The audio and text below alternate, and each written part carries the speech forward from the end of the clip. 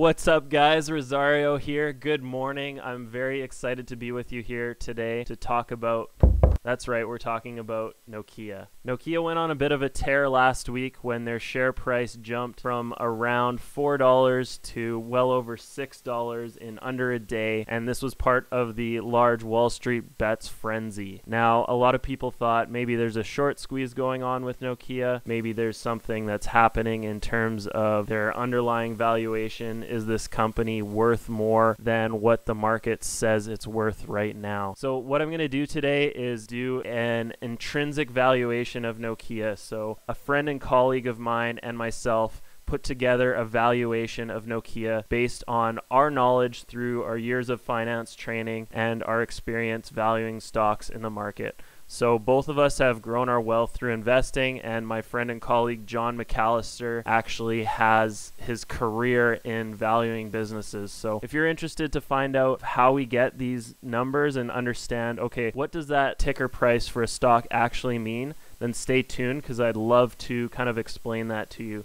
We're going to be putting out kind of white papers and summaries of what we think different companies are valued at and hopefully help you make money over time. So you're in, if you're interested in growing your wealth, stay with us, jump in, and I'll show you exactly how we got to our valuation of Nokia and what we think it's worth and is it something that you should have in your portfolio. So to get started, let's just pull up the chart for Nokia here.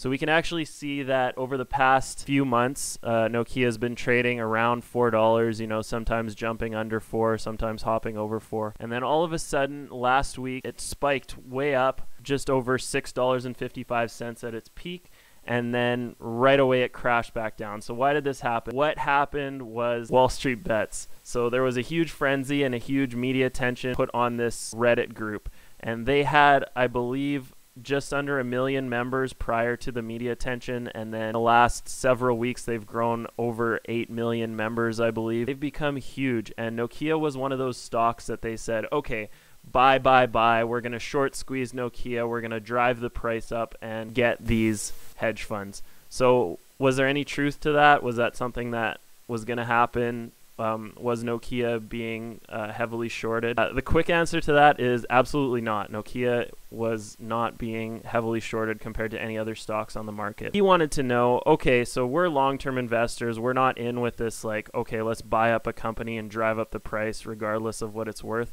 We wanted to know is there some underlying value to Nokia? We did a discounted cash flow analysis and looked at some comparable companies in the industry to get a valuation for Nokia to understand okay, what's the share price at right now and is it worth anything? Now, you can find tons of these valuations on the internet. What we did that's a little different is we tried to say, okay, you know, a lot of people assume that Nokia could grow. They could be, uh, they're having some success right now because of Huawei's kind of decline. Just to jump back a second, Nokia actually provides a lot of the 5G equipment and infrastructure for countries in Europe, and they're starting to do the same uh, around the world and they're becoming uh, an alternative to Huawei. Uh, Huawei being blocked by the U.S. and uh, a lot of other countries for their ties to the Chinese government. Maybe Nokia could potentially uh, capture a lot of that market. Now, it turns out that there's another company called Ericsson that's actually been capturing quite a bit more of the market, so we might have to value them in a separate video. But we wanted to say, okay, let's say Nokia captures a whole bunch of this 5G uh, growth and a lot of this infrastructure is actually already in place, so we might actually be behind this already. Um, but yeah, let's just get into it. Let's see what happens if Nokia were to actually grow. What could we expect to find from them? So we've got our uh, discounted cash flow valuation here. But let's just uh, blow it up a little bit so you guys can uh, take a look here. Okay. So there's a lot of numbers on here, and I know numbers can be boring to some people, but they're very important, and they tell you how much a company's worth. So what is the intrinsic value of a company? So what is the intrinsic like what is a stock worth in theoretical terms and in practical terms if you uh, believe in the efficient markets hypothesis. So if you believe that markets work in the long run and that a market will eventually tell you something about a company, what it's what it's worth, then what we can do is we can say that okay, so the price of a stock is the sum of a company's future cash flows, so the money that they bring in, out to infinity. So as you and and you obviously have to discount those because money to you today is worth more to you than money in 10 years. Just for example, I'd rather have $100 today than $100 next year because if I get $100 today, I could put that $100 in the market and I'd have $120 next year if the market goes up by 20%. Kind of that time value of money. You're interested in having money now, so the money that you get in the future or that you expect to get in the future is worth less and less. So a big part of finding this valuation is first, okay, what are we expecting their actual cash in that year to be? So going out to infinity. How much are we discounting that by? So how much less do we value money next year versus this year and so on. So what we did is we looked at uh, Nokia's revenue in the past and we extrapolated that to the future. Now, that's one way to do it. If you have inside information or better information on who their customers might be and how they might grow, you can do it differently. But we did a really aggressive growth rate for an established company, and we said, okay, their sales are going to grow 20% every year. Based on that, we we calculated their revenue out uh, six years into the future, so out to 2026. And then we did what's called a terminal value calculation. So that's going from 2027 to infinity and just assuming uh, a growth rate and kind of discounting back. Uh, it turns out that doesn't it, it can impact uh, a company's valuation significantly, but the further out you go for your terminal value, the the less and less impact it will have on your overall valuation. So let's take a look and see what we found here. So we got their revenue. Um, going back, uh, we can see that in the past 2020, 2019, their revenues were sitting at around 5.29 billion, and 2019 they were about 6.9 billion. So the revenue dropped quite a bit in 2020 compared to 2019, but that's okay. We assume that they bounced back. Um, so we looked at their cash flows as well. Um, in terms of uh, net cash into the company, uh, cash from operating activities. They did have uh, positive cash flow, which is a good sign. You want to have cash coming into a business because if you run out of cash as a company, uh, you have to shut down. That's that's basically how it works. Uh, using those values, we kind of projected out at that 20% growth rate, which is optimistic, if you ask me. We projected out the value of Nokia over the next six years. Uh, we looked at their operating costs. We had them grow at kind of a similar rate to what they're growing now and then we looked at their gross profit, um, kept their margins uh, similar and increased them slightly, and then came out with the uh, earnings before interest and taxes, deducted taxes. To find their cash flow, you have to add back depreciation and their change in net working capital and subtracted out their capital expenditures to get their uh, future cash flows.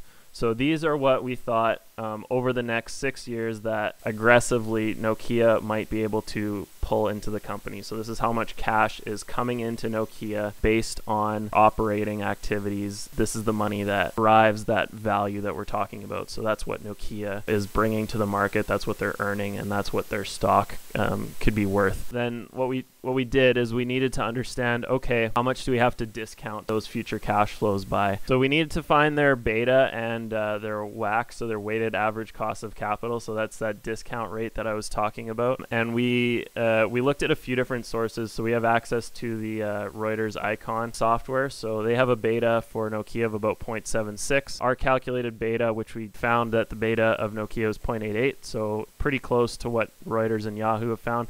What this beta means is it's just like okay, when the market goes up, does Nokia go up, and and how much does it go up compared to the market? What we found is that Nokia actually has uh, a slightly lower than one beta, which means that it do, it's not as volatile as the the average market. A company with a beta of two, for example, if the market goes up 100%, that company would go up 200%, and vice versa. If the market goes down 100%, then that uh, that company would go down 200%. It's very correlated with the market, and it's actually more reactive to changes than the market. But a company with a beta of less than 1 means that it's slightly less reactive to changes in the market. So we can see that here. That might have something to do with Nokia being headquartered in Finland. Um, there might be some other factors at play here, but essentially that helps us find our uh, cost of capital, so understanding what our discount rate should be. Uh, looking here, um, we, we found Nokia's debt and equity, um, and we found uh, a rate of debt for them at 3%, so that's what they're paying on their debt. And then using uh, this formula here, which we can discuss in a later video. It's a it's a cool formula to understand. Okay, if you have your risk-free rate, which is your your rate of putting in a risk riskless bond essentially, versus your market rate, which is your rate uh, that you could get by investing in the market, then you can figure out your weighted average cost of capital. So our our WACC or our uh, our cost of capital here is 11.58 percent.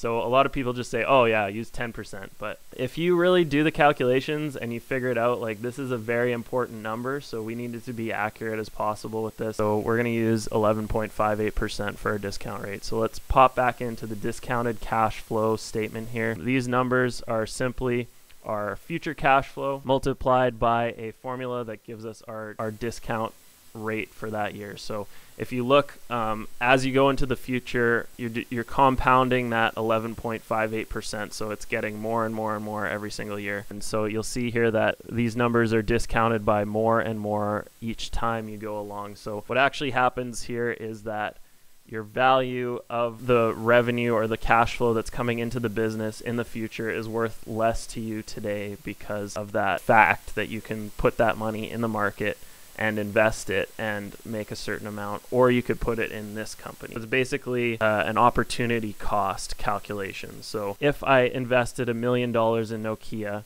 I want to make more from that investment than if I had taken that same million dollars and put it in uh, an index fund, for example. So that's kind of where you get that cost of capital. Now you try to make it comparable, so you want to say, okay, if I had put it in Nokia versus if I had put it in Ericsson or Huawei, but you also want to know compared to your other alternatives, like putting it in the market in general. So we can see here that the sum of the present values of the future cash flows comes out to $15 billion. So what does that mean? That means over the next six years, we expect uh, $15 billion in present value to be generated by Nokia in cash flow. Then we did some fancy fancy calculations, excuse me. Beyond year 6, what do we expect Nokia to be worth? So to figure that out, basically we did you take their um, your their cash flows in year six and you can assume a growth rate. Basically, what you do is you uh, divide that you divide their cash flows by the by your discount rate, subtract out your growth rate, and that gives you your valuation for the terminal value. So we got about 3.4 billion. Then we add those two numbers together. So over the next six years, and then for year seven out to infinity and we get a enterprise value of twenty-two billion nine hundred and thirteen million dollars. Five thousand six hundred, or I guess five. How many is that? Like five hundred and sixty-one million shares or something outstanding. Um, if we divide those two numbers, we get our share price of four dollars and eight cents. All right, so it looks like we've got our price target here of four dollars and eight cents per share. With that, let's take a look at what Nokia is trading at right now to find out if Nokia is overvalued, undervalued, or where we're sitting. So it's trading right now at $4.24 per share, down from the peaks of over $6. And looking at that, we're pretty close to what we had expected from our valuation uh, of $4.08, looking at $4.24. So, based on our valuation, we think that Nokia is actually slightly overvalued right now. Um, we would not want to buy it because we expect its intrinsic value with our aggressive valuation uh, is closer to $4. And at $4.24, that's a little bit overpriced. So, Nokia is expensive. And if you're looking to get a stock at a deal right now, that might not be the stock that you're looking for. Unfortunately, what we found is that a lot of stocks on the market these days are quite a bit overvalued and the reason for that is that is we do have some theories and it has a lot to do with central banks creating a ton of money primarily uh, for pandemic relief, and a lot of that money going straight into the stock market and boosting up stock prices. Um, if you are one of the proponents of the theory that there is a stock market bubble, this could be some evidence of that. Typically, stocks should trade somewhere around what that intrinsic value is because in the modern world, there's a lot of good information available, and people are able to calculate these numbers and predict what companies are worth. They shouldn't trade too much over their intrinsic value. So, what we see here is that Nokia, despite all the hype, is likely overvalued.